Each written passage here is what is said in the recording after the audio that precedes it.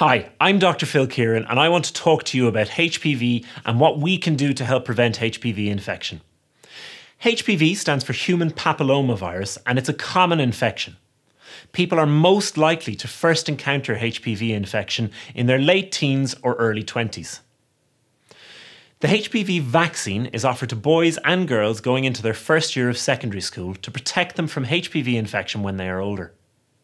HPV infection can cause cancers such as anal cancer in men and women and cervical cancer in women. One in 20 cancers worldwide are caused by HPV infection. HPV is so common that almost everyone who is sexually active will get HPV infection at some point in their life, and usually it clears up by itself. But if it doesn't, it can cause cancers in both men and women.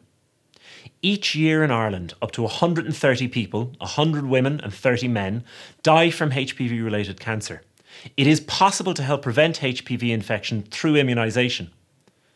The National Immunisation Programme in Ireland offers the HPV vaccine to both boys and girls in first year of secondary school.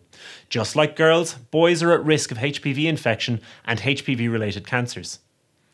Immunising boys and girls will help protect from certain types of HPV infection that may develop into cancers in later life.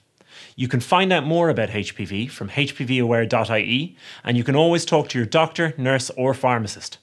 Thanks.